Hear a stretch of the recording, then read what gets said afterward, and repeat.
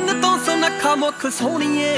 ਤੋੜ ਦਿੰਦਾ ਮੇਰੇ ਸਾਰੇ ਦੁੱਖ ਸੋਹਣੀਏ। ਉਹ ਫੁੱਲਾਂ ਨਾਲੋਂ ਵੱਧ ਤੇਰੀ ਕਹਿਰ ਕਰਨੀ। ਮੇਰੀ ਜ਼ਿੰਦਗੀ ਦੀ ਖਾਲੀ ਥਾਂ ਤੂੰ ਭਰਨੀ। ਉਹ ਤੇਰੇ ਉੱਤੇ ਮਰਦਾ ਮੈਂ, ਪਿਆਰ ਤੈਨੂੰ ਕਰਦਾ ਮੈਂ।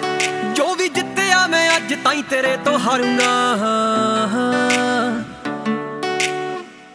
ਤੂੰ ਜਿੱਥੇ ਜਿੱਥੇ ਪੈਰ ਧਰੇ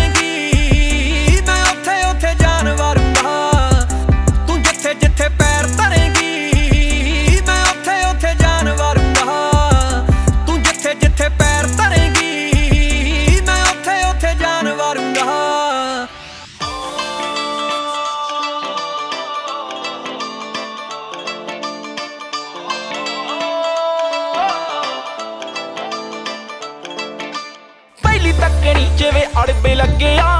ਹੌਲੀ ਹੌਲੀ ਫਿਰੇ ਮੇਰਾ ਦਿਲ ਠੱਗਿਆ। ਪਤਾ ਹੀ ਨਹੀਂ ਕਿੱਥੇ ਨਾ ਟਾਈਮ ਲੱਗਿਆ, ਜਿਵੇਂ ਮਿੰਟਾਂ ਚ ਬੀਤ ਗਏ ਸਾਲ ਤਿੰਨ